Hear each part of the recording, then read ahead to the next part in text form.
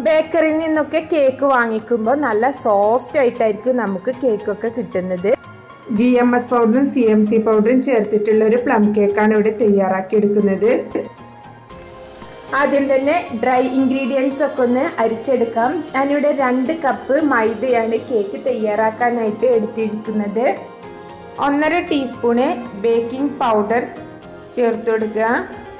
ഇനി കാൽ teaspoon C M C പൗഡറാണ് സി എം സി പൗഡർ കൂടുതൽ ചേർത്ത് കൊടുക്കരുത് ഭയങ്കര ഫ്ലേവർ ആയിരിക്കും.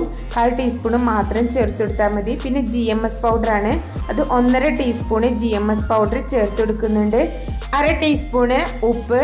ഇനി ഇതിലേക്ക് പട്ട ഗ്രാമ്പൂ അതുപോലെ തന്നെ നട്മഗും പൊടിച്ചെടുത്തതാണ്. അത് മൂന്നും കൂടെ പൊടിച്ചെടുത്തത് ഒരു ടീസ്പൂണ് ചേർത്ത് കൊടുക്കുന്നുണ്ട് അര ടീസ്പൂണ് നട്മഗ് പൊടിച്ചതും കാൽ ടീസ്പൂണ് പട്ട പൊടിച്ചതും കാൽ ടീസ്പൂണ് ഗ്രാമ്പ് പൊടിച്ചതും എടുത്താൽ മതി.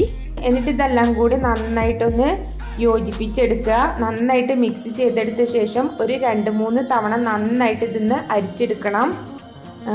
കേക്ക് നന്നായിട്ട് സോഫ്റ്റ് ആയിട്ട് വരണമെങ്കിൽ ഒരു മൂന്ന് തവണ നന്നായിട്ട് അരിച്ചെടുത്താലേ കേക്ക് നന്നായിട്ട് സോഫ്റ്റ് ആയിട്ട് വരുള്ളൂ. ഞാനിതിവിടെ മൂന്ന് പ്രാവശ്യം നന്നായിട്ട് ഇത് അരിച്ചെടുത്തിട്ടുണ്ട്. ഇനി ഒരു വിസ്ക് വെച്ചിട്ടോ സ്പാച്ചില വെച്ചിട്ടോ ഒന്നും കൂടി ഇത് നന്നായിട്ട് യോജിപ്പിച്ച് കൊടുക്കണം. മുക്കാൽ കപ്പ് പഞ്ചസാര ഒരു പാനിലേക്ക് ഇട്ട് കൊടുത്തു. അത് നന്നായിട്ട് ക്യാരമലായി വന്നപ്പോൾ അതിലേക്ക് കാൽ കപ്പ് തിളച്ച വെള്ളം ഒഴിച്ചും കണ്ട് ക്യാരമൽ ചെയ്തെടുത്തതാണിത്.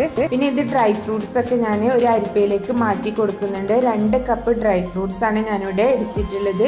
ഇത് നേരത്തെ തന്നെ സോക്ക് ചെയ്ത് വെച്ചതാണ്. ഏകദേശം ഒന്നര മാസം മുന്നേ ഞാൻ ഡ്രൈ ഫ്രൂട്ട്സ് എല്ലാം സോക്ക് ചെയ്ത് എടുത്ത് വെച്ചിരുന്നു. ഇത് ഡ്രൈ ഫ്രൂട്ട്സ് സോക്ക് ചെയ്തിട്ടുള്ള വൈനും അതുപോലെ തന്നെ പഞ്ചസാര സിറപ്പൊക്കെയാണ്. ഇത് നമുക്ക് കേക്കിലേക്ക് ചേർത്ത് കൊടുക്കാനായിട്ട് ആവശ്യമുണ്ട്. വെറ്റ് ഇൻഗ്രീഡിയൻസ് ഒക്കെ ഒന്ന് അടിച്ചെടുക്കണം. മൂന്ന് വലിയ എഗ്ഗാണ് എടുത്തിട്ടുള്ളത്. ചെറുതൊക്കെ ആണെങ്കിൽ ഒരു അഞ്ചെണ്ണം വരെ എടുക്കണം. ഇത് നന്നായിട്ട് ബീറ്റ് ചെയ്തെടുക്കുക. മുക്കാൽ കപ്പ് പൊടിച്ച പഞ്ചസാര എടുത്തിട്ടുണ്ട്. അതും കൂടെ കുറേശ്ശെ ചേർത്ത് കൊടുത്തിട്ട് വേണം ഇത് ബീറ്റ് ചെയ്തെടുക്കാനായിട്ട്. ഇനി ഇതിലേക്ക് ഒരു മുക്കാൽ കപ്പോളം സൺഫ്ലവർ ഓയിലും കൂടെ ചേർത്ത് കൊടുക്കണം. കുറേശ്ശെ ചേർത്ത് ബീറ്റ് ചെയ്തെടുത്താൽ മതി. ഒന്നര ടീസ്പൂണ് വാനില എസൻസും കൂടെ ചേർത്ത് കൊടുത്തിട്ട് ഒരു മിനിറ്റും കൂടെ ഒന്ന് ബീറ്റ് ചെയ്തെടുക്കുക. ഡ്രൈ ഫ്രൂട്ട്സ് എന്നൊക്കെ തന്നെ ഷുഗർ സിറപ്പ് ഒക്കെ നന്നായിട്ട് സെപ്പറേറ്റ് ആയിട്ട് വന്നിട്ടുണ്ട്. ഇനി ഇത് അരിപ്പയിൽ നിന്നൊരു പാത്രത്തിലേക്ക് ഇട്ട് കൊടുക്കുക. അരിച്ചെടുത്ത മൈദയുടെ മിക്സിൽ നിന്നും ഒരു നാല് ടേബിൾ സ്പൂണോളം അതിലേക്ക് ഇട്ടുകൊടുത്ത് നന്നായിട്ടൊന്ന് യോജിപ്പിച്ചെടുക്കുക ഈ കേക്ക് ബാറ്ററിന്റെ അടിയിലേക്ക് താന്ന് പോതിരിക്കാനാണ് ഇങ്ങനെ ചെയ്യുന്നത്.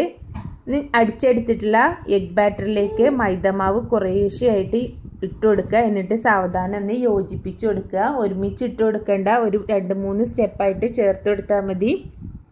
കുറേശ്ശെ ചേർത്ത് കൊടുത്ത ശേഷം സാവധാനം ഒന്ന് ഫോൾഡ് ചെയ്തെടുത്താൽ മതി. ഇതിലേക്ക് ഡ്രൈ ഫ്രൂട്ട്സിൽ നിന്ന് അരിച്ചെടുത്ത ഷുഗറിന്റെയും അതുപോലെ തന്നെ വൈന്റെയും മിക്സാണ് അത് കുറേശ്ശെ ഇതിലേക്ക് ചേർത്ത് കൊടുക്കുക.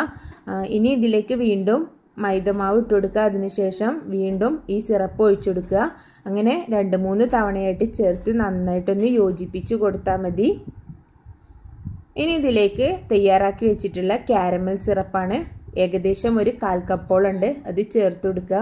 ഇതാണ് കേക്കിന് ആവശ്യമായിട്ടുള്ള കളർ കൊടുക്കുന്നത്. അതും കൂടി ചേർത്ത് സാവധാനം ഒന്നും കൂടെ അത് നന്നായിട്ട് യോജിപ്പിച്ചെടുക്കണം. ഇനി ഇതിലേക്ക് ഡ്രൈ ഫ്രൂട്ട്സ് ചേർത്ത് കൊടുക്കുക. കുറേശ്ശെ ചേർത്തുങ്ങാണ്ട് സാവധാനം ഒന്ന് യോജിപ്പിച്ച് കൊടുത്താൽ മതി. രണ്ട് മൂന്ന് തവണയായിട്ട് ചേർത്ത് സാവധാനം ഒന്ന് യോജിപ്പിച്ചെടുക്കുക. ഇതേ ഒരു കൺസിസ്റ്റൻസിയിലാണ് ബാറ്റർ ഉണ്ടായിരിക്കേണ്ടത്. ഇനി ഇത് ബേക്ക് ചെയ്ത് എടുക്കണം.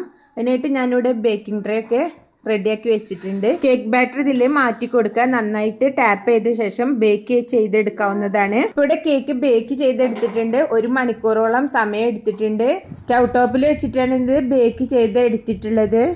ഇത് നന്നായിട്ട് ചൂടാറിയ ശേഷം ഇതിന്റെ മുകളിലായിട്ട് ഷുഗർ സിറപ്പ് നന്നായിട്ട് തേച്ചെടുക്കണം. ഷുഗർ സിറപ്പ് ഇതിന്റെ മുകളിലായിട്ട് തേച്ച് കൊടുക്കുമ്പോഴാണ് ടേസ്റ്റ് നന്നായിട്ട് കിട്ടുന്നത്. അതല്ലെങ്കിൽ നമ്മൾ വൈന് തേച്ച് കൊടുത്താലും നല്ല ടേസ്റ്റ് ആയിരിക്കും. ഒരു രണ്ട് ദിവസത്തിന് ശേഷം ഇത് കട്ട് ചെയ്തെടുത്താലാണ് ഇതിന്റെ യഥാർത്ഥ ടേസ്റ്റ് നമുക്ക് കിട്ടുന്നത്. നല്ല സോഫ്റ്റ് ആയിട്ടുള്ള കേക്കാണ് പിന്നെ ഡ്രൈ ഫ്രൂട്ട്സ് ഒന്നും തന്നെ അടിയിലേക്ക് താഴ്ന്നു പോന്നിട്ടില്ല. നല്ല കറക്റ്റ് പരുവത്തിൽ തന്നെ നമുക്ക് കിട്ടിയിട്ടുണ്ട്. വീഡിയോസൊക്കെ ആദ്യമായിട്ട് കാണുകയാണെങ്കിൽ ഒന്ന് സബ്സ്ക്രൈബ് ചെയ്തിട്ട് സപ്പോർട്ട് ചെയ്യണം.